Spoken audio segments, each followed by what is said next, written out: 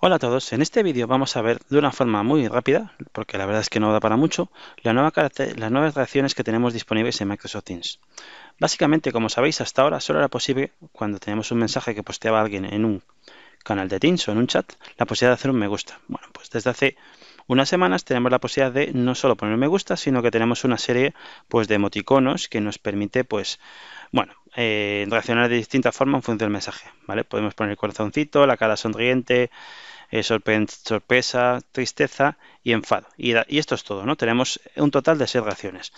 Estas reacciones que tenemos disponibles para conversaciones en canales de Teams, obviamente también están disponibles en chats privados. Si hago clic en un chat, ¿vale? Y tengo, por ejemplo, un chat disponible, pues como podéis ver aquí tengo las mismas reacciones disponibles. Y ya está. Esto es lo que os quería enseñar de las reacciones en Teams, que bueno, es una forma más de eh, dar un poco sentimiento en torno a las conversaciones que tienen lugar tanto en conversaciones en canales de Teams como en chats privados. Espero que el vídeo os haya resultado interesante y nos vemos en el próximo. Un saludo.